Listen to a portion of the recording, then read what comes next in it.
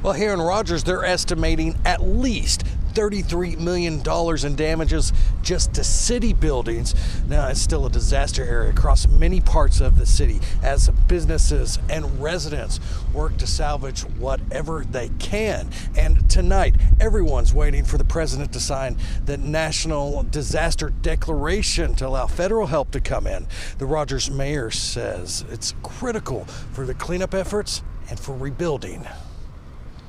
We have to have that declaration. We're talking about millions and millions of dollars. Numerous businesses along West Walnut Street are destroyed.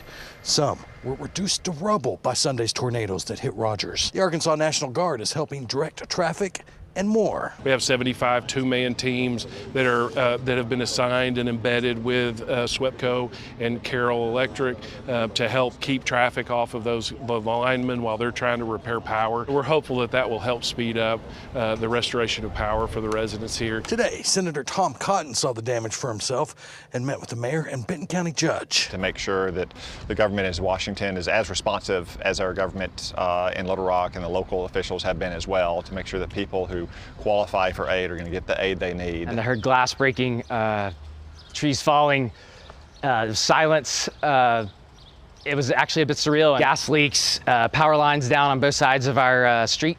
But everyone was okay, and that's all you can ask for in that situation. Roger Norman says Sunday's storms were the worst he's ever gone through. So this tree just fell, uh, definitely hit everything that we have, my neighbors and I's house. Um, it could have been a lot worse. And as soon as you'd open the door, the trees were right there and they'd actually come in. So cut myself out of it and uh, a lot of work, but a, a, lot to be done. In Benton County, the latest reports show 2,096 homes that were damaged and 45 that were destroyed. If your home was damaged, you're asked to report it online through the county's website. And if we already have all those properties preloaded, it's going to make that process go quicker as individuals deal with FEMA for relief. For now, Norman and thousands of residents are depending on plastic tarps to keep the rain and weather out of their homes. The relief crews have been amazing in coming around, getting electricity back up quicker than we could imagine, but also just making sure that everyone is protected from further damage.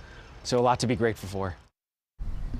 And here in Rogers, the mayor hopes that almost all of the traffic signals are restored by the end of the day on Friday. And of course, everyone's asked to stay safe out there with all the dangers that are still all around us here in Rogers and throughout Benton County. Live in Rogers, Brett Rains, 4029 News.